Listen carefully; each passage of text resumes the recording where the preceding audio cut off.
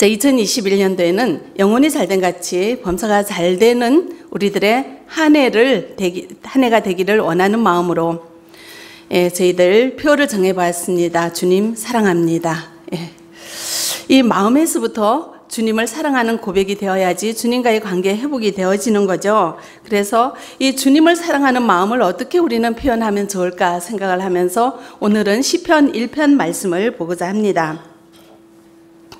시편 1편 말씀에 맨 처음에 나오는 단어가 복 있는 사람입니다. 예, 이 단어는 복 있는 사람. 우리가 새해에 복 있는 사람으로 살아가고자 하는 이 말은 너무나 좋은 말이고 모두가 꿈꾸는 말입니다. 예, 그래서 어떻게 하면 복이 넘치는 인생을 살아갈 수 있을까요? 그래서 새해 첫날, 1월 1일, 많은 사람들이 새벽에 동해 안에 해돋이를 보려고 아주 미어 터졌다고 합니다. 왜 새해 첫날 동해 안에 가장 먼저 떠오르는 태양을 보려고 많은 사람들이 이 어려운 코로나 시절에 몰려갔을까요? 새해 첫날 떠오르는 태양을 보면서 소원을 빌고 복을 빌면 그것이 그 해에 이루어진다는 이런 생각을 하는 거죠. 떠오르는 태양이 사람의 소원을 들어줄 수 있고 복을 빌어줄 수 있다고 사람들이 생각을 하는 겁니다. 제가 요즘 손자 조금 시간을 같이 하는데 우리 손자가 요즘 생명체와 생명체가 아닌 것에 관심을 있습니다. 그러면서 질문을 합니다. 할머니, 생명이 있는 것은 엄마, 아빠가 있어? 그러면서 또 묻기를, 저 자동차는 엄마, 아빠가 없으니까 생명이 없는 거네? 이렇게 이제 질문을 합니다. 하나님이 만드신 세상의 원리에 관심을 가지고 질문을 합니다. 태양이 만약에 번식을 하는 생명체라면 엄마 태양, 아빠 태양, 아기 태양, 가족을 이루겠죠. 그렇지만 하나님께서 이 천지를 창조하실 때 생명체를 살릴 수 있는 에너지를 공급하기 위해서 이 열과 빛을 내는 이 태양을 창조하신 거죠. 만드신 거죠. 태초에. 그 큰 별, 별이에요. 그 큰 별 하나가 지금까지 그대로 온 우주를 비치며 생명체를 살 수 있게 도와주고 있습니다. 이런 태양에게 가서 복 달라고 빌 것이 아니라 이 태양을 만드신 하나님께 엎드려 복을 달라고 빌어야 되는 이 진리를 모르는 사람들이 세상 사람들이죠. 그래서 해돋이를 보려고 그먼 것까지 새벽에 달려가고 있습니다. 이렇게 이것을 모르는 이 진리를 모르는 이런 어리석은 사람들이 세상 사람들입니다. 하나님을 모르는 세상 사람들입니다. 이 세상 사람들은 사실 자신의 욕망을 만족시키는 상태를 행복이라고 합니다. 해를 보고 달을 보고 빌면서 나의 욕망을 채워주세요. 비는 거죠. 그런데 사람의 욕망이라는 게 끝이 없습니다. 만족이 없습니다. 그러므로 세상 사람들은 행복을 느낄 수가 없는 것이 현실입니다. 우리는 알아야 합니다.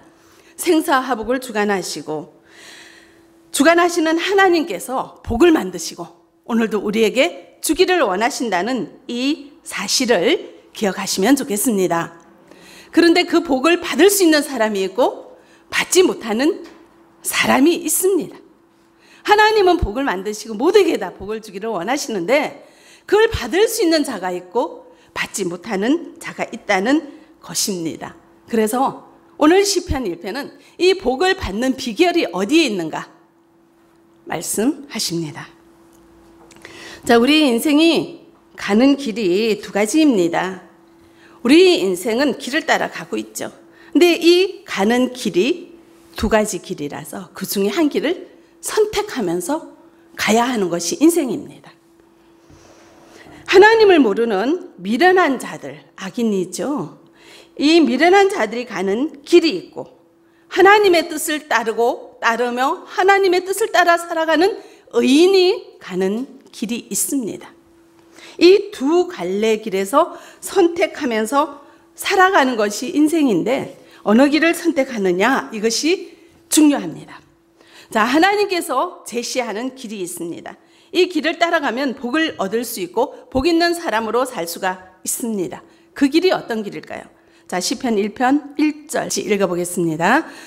복 있는 사람은 악인들의 꾀를 따르지 아니하며 죄인들의 길에 서지 아니하며 오만한 자들의 자리에 앉지 아니하고 자, 1절이죠. 여기에서 제일 먼저 나오는 것이 복 있는 사람이에요. 자, 복 있는 사람이 어떤 사람인가를 설명을 하는데요. 제일 먼저 등장하는 것이 악인입니다. 이 악인은 하나님을 모르는 어리석고 미련한 자들을 악인으로 표현하고 있습니다. 그래서 이 복을 받기 위해서 해야 되는 일을 얘기를 하는데요. 1절에서는 복을 받기 위해서는 먼저 하지 말아야 될 게 있습니다. 안 해야지 되는 거죠. 이걸 하라가 아니라 하지 말고 그 다음에 하라 이렇게 말씀을 하셔요. 그래서 하지 말아야 될 것이 무엇인지 예, 예, 하나하나 보도록 하겠습니다. 악인들의 꾀를 따르지 아니하며 악인들의 꾀를 쫓아가지 말라는 거죠. 악인이란 세상 사람들이죠. 미련한 하나님을 모르고 하나님을 무시하는 어리석은 어, 세상 사람들을 악인이라 하는데 이 악인들의 꾀를 따르지 말라고 하는데 이 꾀라는 단어가 조언 옆에서 권하는 말로 해석하기도 합니다.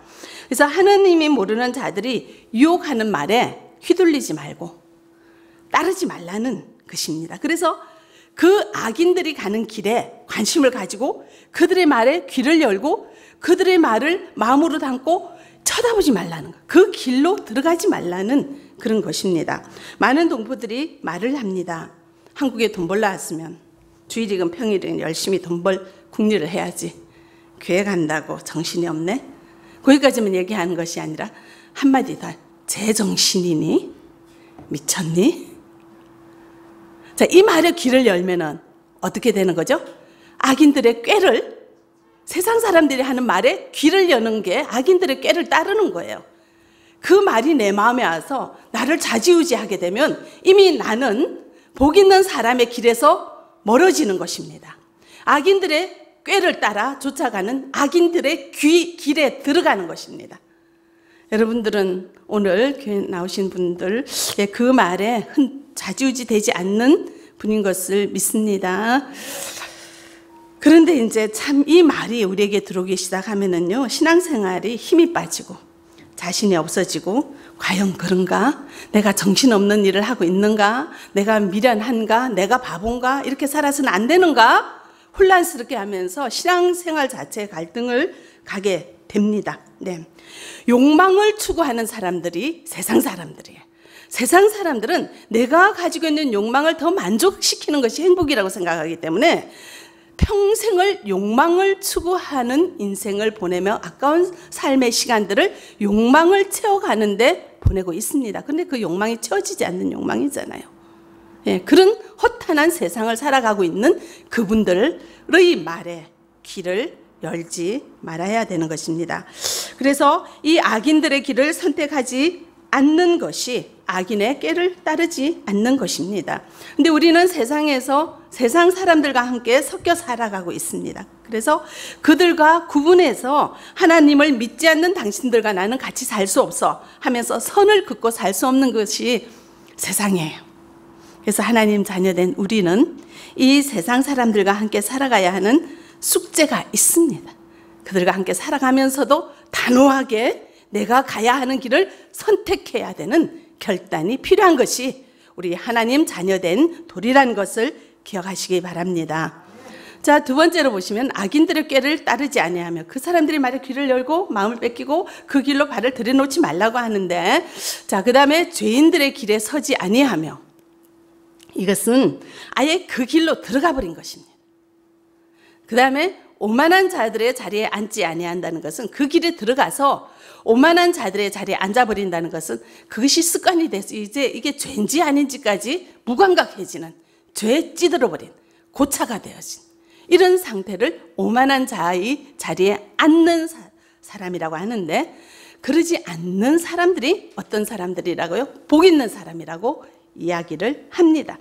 자, 우리의 영적 상태는 어떠한지. 우리는 세상 사람들이 하는 말에 끌려서 그들이 살아가는 길에 같이 살아가고 있고 그것이 죄인 줄도 모르고 아예 그 자리에 눌러 앉아가지고 마음 편안하게 주님과 멀어져서 살아가고 있는지 돌아보는 은혜가 있어지기를 바랍니다. 그렇게 하면서 복 달라고 하면 하나님께서 복을 줄 수 없다는 거예요. 복 있는 사람은 그렇지 아니한 자, 오만한 자의 자리에 앉지 아니한 자가 복 있는 사람이라고 이야기를 합니다. 그래서 발견하시기 바랍니다. 내가 과연 어떠한 상태에 있는가 분별하시고 깨달으시고 확인해 보시기 바랍니다. 그리고 인정하시기 바랍니다. 아이들이 집에서 놀다가 중요한 물건을 깨뜨릴 때가 있어요. 그래서 부모님이 나중에 와서 이건 누가 그랬어? 이렇게 물어봐요. 근데 애들이 대체로 어, 엄마 그 내가 해서 죄송해요 잘못해서 안 그러잖아요. 일단 혼 안 날려고 나도 몰라. 내가 안 그랬는데 먼저 발뺌부터 하죠. 근데 이제 부모님들은 뭐 중요한 것도 아니고 바쁘니까 막 그러고 넘어가요. 그러면은 이게 어떤 일이 있는가 하면은 아이들은 배워요. 뭘 배우냐면은 거짓말 하면 혼나지 않는다. 그걸 배우는 거예요. 그런 학습을 시키게 되는 것입니다. 거짓말 하면 혼이 안 나. 그리고 그 자리에서 절대로 내 잘못이라고 말하지 말아야 돼. 그래야지 내가 사는 길이야.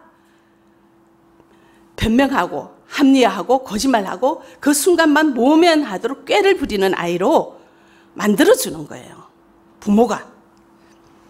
그래서 증거가 없이, 증거가 뚜렷이 없는 일에는 내가 잘못하고도 인정을 하지 않고 발뺌을 하는, 그래서 남의 탓으로 은근히 돌리는 습관을 가진 아이로 만듭니다.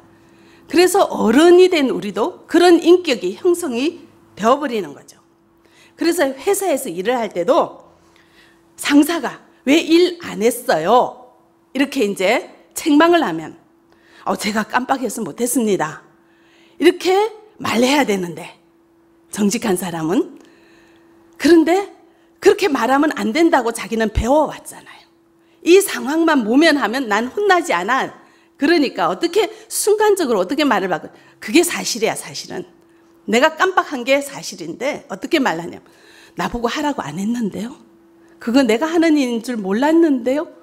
돌립니다. 그러면은 상사가 누가 말 안 했는가 이거 막 찾아보기 어려워 시끄러워지니까 그 순간 그냥 넘어가요 아, 그래? 그럼 이거 해. 이렇게 얘기를 하면서 내 책임이 아닌 게 되어버려요. 그러면서 자기 자신은 잘못했다고 잘못하지 않았다고 떳떳하게 그 상대방 앞에서는 서게 되는데 이것이 뭡니까? 거짓말이죠. 정직하지 않는 거죠. 이 사람은 평생 내가 잘못했습니다 하고 인정하는 것을 모르고 사는 사람이 되는 것입니다. 그런 말하는 습관과 태도가 가지게 되는 거죠. 자, 이것은 아, 내가 잘했다고 말할, 잘못했다고 말할까? 그러면 혼나. 그러지 말아야지. 악인의 깨가 들어왔죠. 근데 아, 내가 안 그랬어. 죄인의 길에 들었었죠. 근데 평생을 그게 습관이 돼버려서 오만한 자의 자리에 앉아 그 죄인지도 모르고 살아가고 있어요. 오만한 자의 자리에 앉아서 살아가는 죄가 죄인지도 모르고 죄에 빠져 사는 사람들은 당장은 편해요. 당장은 싫은 소리 안 들어요. 그런데 처음에 그 사람을 볼 때는 그 사람이 아 그런가 보다 이러는데 오래 같이 겪으면서 보면 저 사람은 신뢰할 수 없어. 저 사람은 정직하지 않아. 그러면서 그 사람 그렇게 대접을 해요. 그럼 결국은 누구에게 해가 됩니까? 나에게 해가 돼요. 어느 사람도 나를 신뢰하지 않아.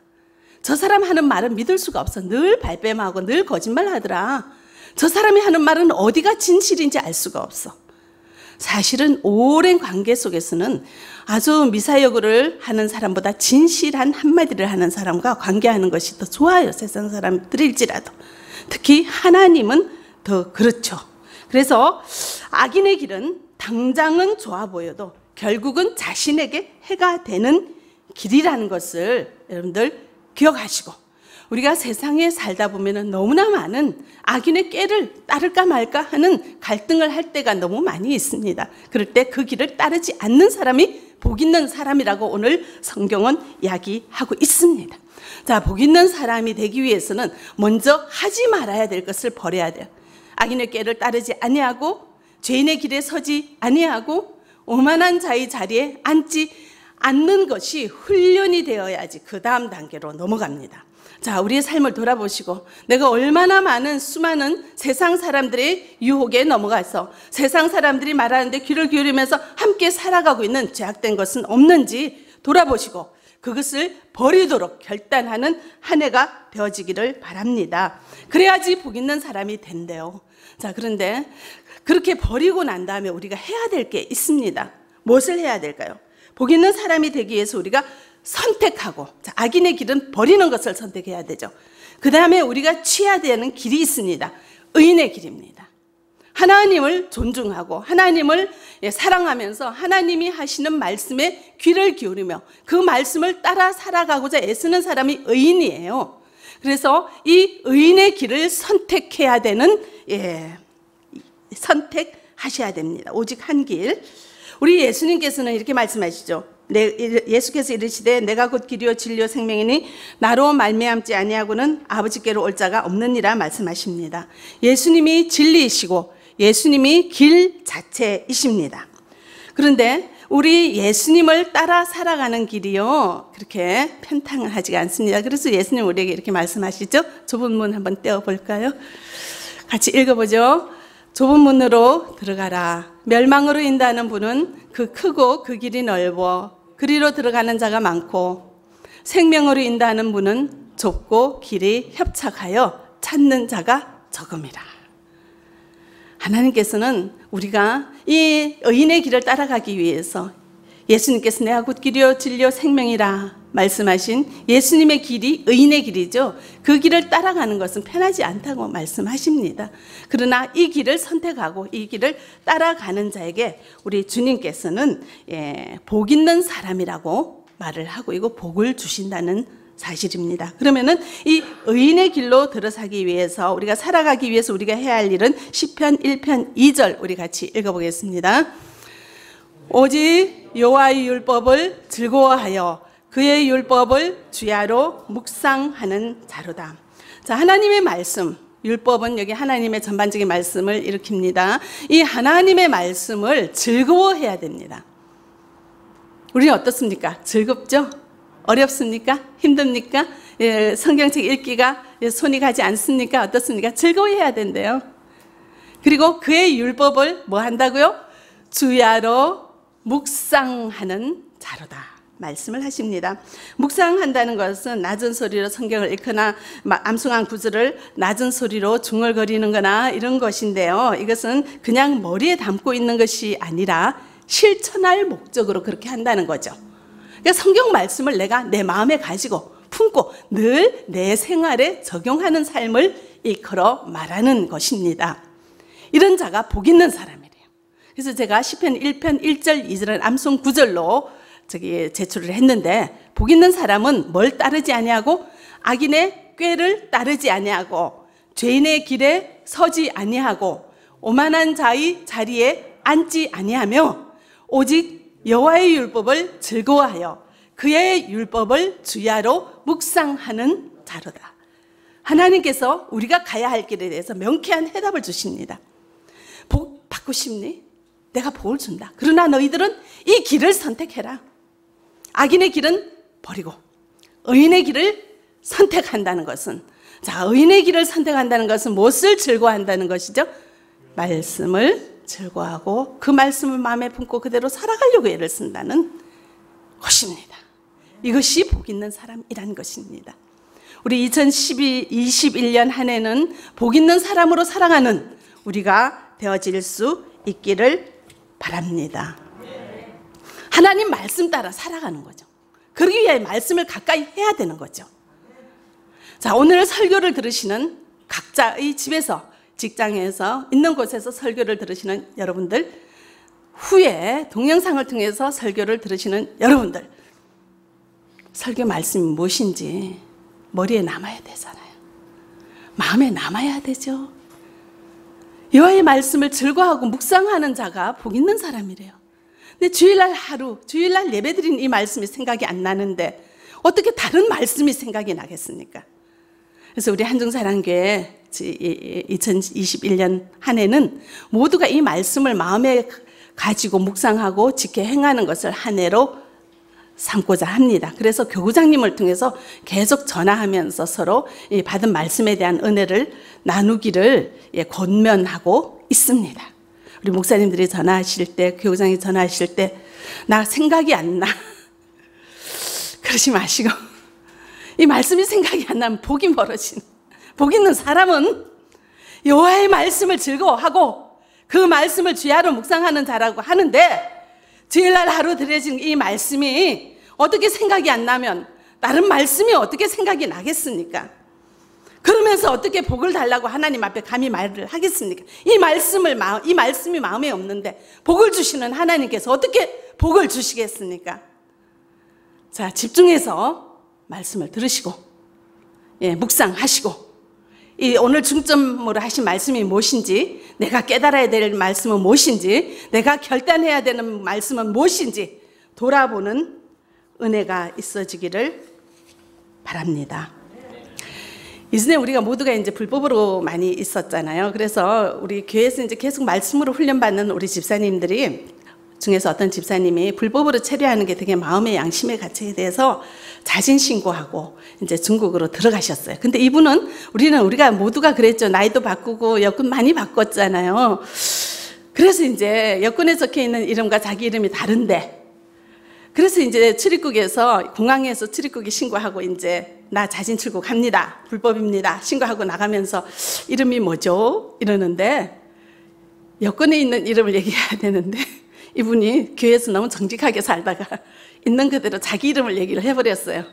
그러면은 그냥 단순 불법 체류가 아니라 위조 여건을 가진 그건 좀 벌이 엄하죠. 그걸로 자기가 본인이 자진 신고를 한 거예요. 그래가지고 나갈 때도 굉장히 어려웠고 중국 들어가서도 막 한 일주일은 아팠대요. 너무 이 과정이 힘들어가지고 제가 참 이 소식을 듣고 갈등을 했습니다. 아유, 아예 세상 따라 살라고 했으면 그냥 적당하게 속이고 나가면 편했을 텐데 왜 그걸 있는 그대로 말을 했는가 막 이런 생각도 들고 아유, 거짓말 하고 살라고 해야 되나 정직하게 말하고 살라 해야 되나 내가 무슨 말을 해야 되지? 굉장히 갈등을 했습니다. 마음이 너무 아팠어요. 근데 이 사건이 전화위복이 됐습니다. 어떻게 전화위복이 됐냐면 그 후에 바로 이제 출입국 공항 출입국에서 이제 여권을 보는 기계를 사람 눈으로 하지 않고 기계를 도입을 했습니다. 그러니까 남의 사진 받고 온 사람, 남의 이름으로 온 사람, 뭐 한 사람 여권, 위조 여권이 바로 바로 바로 색출이 되는 거예요. 그거 모르고 이제 공항에 갔다가 막 강제 출국 당하고 아니면 뭐 하고 막 야단이 났어요. 어, 나는 아닌데 이러면서 다 들통이 나는 거죠.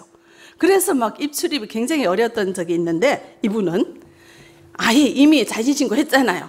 그 아예 여권 바꿨잖아요. 그러니까 이제는 당당하게 자기 이름으로 편안하게 남들은 막 그냥 걸려가지고 쫓겨가고 막 공항까지 왔다가 그 가방 들고 와가지고 못 들어오고 들어든지 아니면은 막 그 잡혀가든지 야단이 나는 그런 사람 아주 그냥 떳떳하게 편안하게 다니게 되었습니다.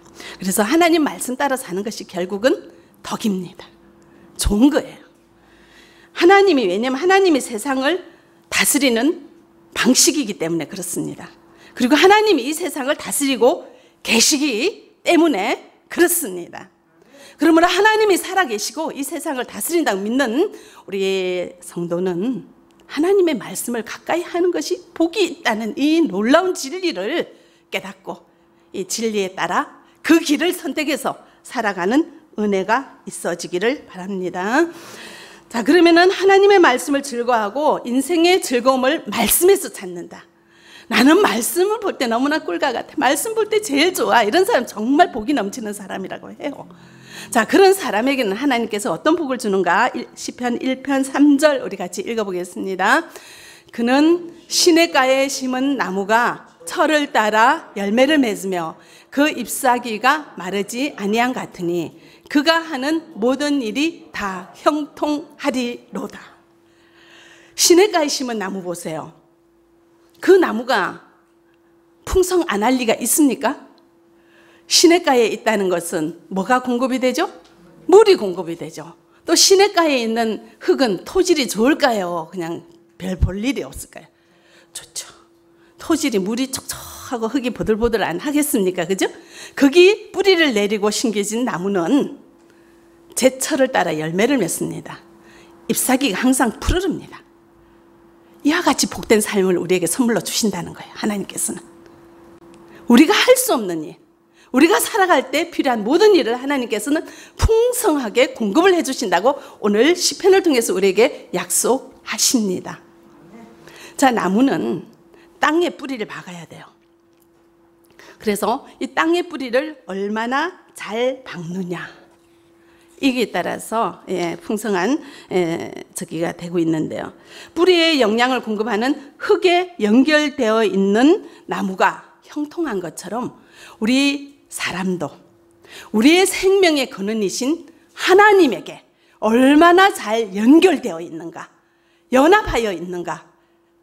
나무가 흙에 좋은 토양의 뿌리를 잘 받고 있을 때 이렇게 시들을 쫓아 가시를 맺으 잎사귀에 마르지 아니하고 그 풍 성한 복된 나무에 그 열매를 맺는 것처럼 우리도 그 토양 대신 하나님께 얼마나 뿌리를 잘 받고 있느냐에 따라서 우리의 삶이 복되게 되느냐 그렇지 않느냐 한다는 말씀입니다. 그러므로 하나님께 의지해 하나님과 연합하여 자 뿌리를 통해서 영양분이 공급되잖아요. 그래서 가지 가지마다 다 전달이 되고 잎사귀까지 전달이 되는데 이것을 전달하는 역할을 말씀이 하는 거잖아요. 하나님은 토양이고 그 영양을 공급하는 것은 말씀이에요. 그러므로 하나님께 가까이 해서 하나님이 주신 말씀을 즐거워하고 그 가운데 기록한 대로 지켜 행하는 자가 복이 있다는 하나님의 이 진리를 누구나 아는 이 진리를 다시 한번 생각하는 새해가 되어지기를 바랍니다. 나무가 그 뿌리에서 흙에서 뿌리가 뽑혀진 그 나무는 죽어요. 우리가 토양 대신 하나님께서 뽑혀지면 우리는 마르고 불살라지는 쓸모없는 존재가 된다는 이 사실을 여러분들 기억하시면 좋겠습니다. 제가 이 시냇가에 심은 나무가 시들을 쫓아 가시를 맺고 잎사귀가 푸르지 아니한 이 풍성하고 그 빛이 얼마나 초록이고 반듯반듯하고 얼마나 싱싱하고 좋습니까? 그죠? 우리가 그런 나무를 보는 거 참 좋죠. 그래서 우리 인생도 그렇게 되어졌으면 좋겠는데 참 누가 이렇게 복되게 사셨는가 생각을 해봤더니요. 제가 할렐루야 교회 김상복 목사님이 생각이 나더라고요. 제가 참 존경하는 목사님인데 지난번에 우리 교회도 한번 오셨죠. 그분이 북한에서 태어나셨잖아요.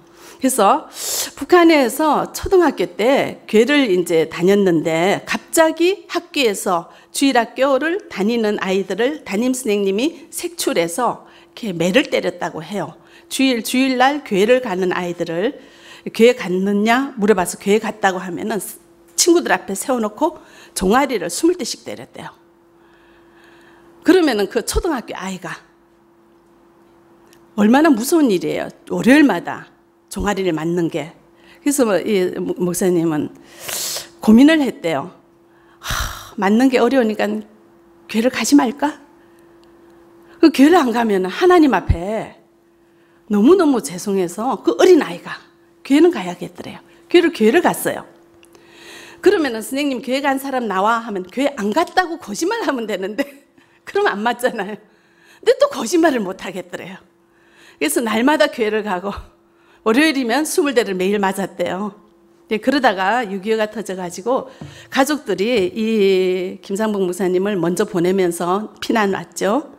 그 가족을 떠나서 혼자 피난 왔어요. 나중에 온다고 했는데 엄마 아빠 그 가족은 아무도 못 왔고 혼자 혈혈 단신으로 남한으로 피난 왔어. 그 초등학생이. 그 부모가 없이 고아로 평생을 사셨는데 자, 먹는 거, 입는 거 이런 거 해결하는데 얼마나 옆에서 유혹이 많겠습니까? 나쁜 사람들의 손길이 얼마나 많겠습니까? 악인의 꾀를 예, 따를 만한 그런 환경이 기회가 유혹이 얼마나 많았겠습니까? 다 거절하고 오직 주님 말씀 따라 주님 의지하여 살았더니 이렇게 귀한 목회를 하시고 그리고 그의 삶 자체가 우리 목사님 삶 자체가 바라보는 모든 사람들이 다 존경하고 예, 너무나 훌륭한 그 삶의 흔적들이 많은 사람들에게 선한 영향을 끼치면서 인품과 사역과 그분의 삶 자체가 복된 삶이 된 거죠. 많은 사람들에게 칭송받고 부족함이 없으며 본인의 모든 것을 가지고 다른 사람에게 선한 영향력을 끼치며 여태까지 살아오셨습니다. 지금도 그러하고요. 저는 이런 삶이 복 있는 삶이 아닌가 생각을 합니다.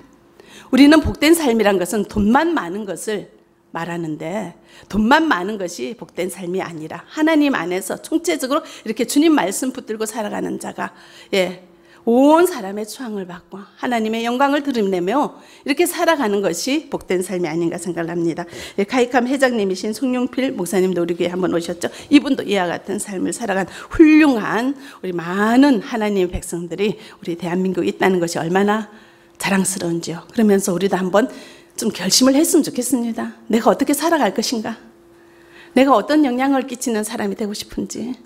그냥 나 돈 많이 받고 내 자식 잘 되고 이런 가치관에서 떠나서 하나님 안에서 하나님의 영광을 드러내며 하나님이 복 있는 사람으로 인정해주는 시절을 조차 과실을 맺고 그 잎사귀가 마르지 아니한 것 같으며 나만 그렇게 사는 사람이 아니라 주변 사람에게도 그와 같은 복을 나눠주는 이런 복 있는 사람으로 살아가는 길을 선택하는 우리가 되어지기를 바랍니다. 자, 악인의 열매는 어떨까요? 4절 우리 보겠습니다. 악인들은 그렇지 아니하며 오직 바람에 나는 겨와 같도다. 자, 우리가 곡식을 하면 알곡과 겨가 있는데 알곡은 쓰지만 겨는 버리잖아요. 버림받는 인생이고 망하는 인생이죠. 근데 버림받고 망하는 것뿐만이 아니라 하나님의 심판 아래 가는 것입니다. 5절 6절 우리 같이 읽어 보겠습니다. 그러므로 악인들은 심판을 견디지 못하며 죄인들이 의인들의 모임에 들지 못하리로다. 무릇 의인들의 길은 여호와께서 인정하시나 악인들의 길은 망하리로다. 그냥 망하는 것이 아니라 심판 아래서 영원히 망하는 것입니다. 악인들의 길은 이 진리를 여러분들 기억하시고 우리가 의인의 길을 선택해야 될지 악인의 길을 선택해야 될지 우리가 선택하며 주님이 복 주시기를 원하시는 그 길을 따라 살아가는 우리가 되어지기를 바랍니다. 지금 세상 사람들이 하는 말에 귀를 살짝 여는 거 별거 아닌 것 같지만 그러다가 그 길로 가는 겁니다. 거기서부터 여러분들 차단하시고 선택하시고 우리의 신앙을 굳게 지키기 위하여 오직 주님만 바라보고 주님이 기뻐하시는 길을 순간순간 선택하며 굳건하게 그 길을 쫓아가는 우리가 되어지기를 바랍니다.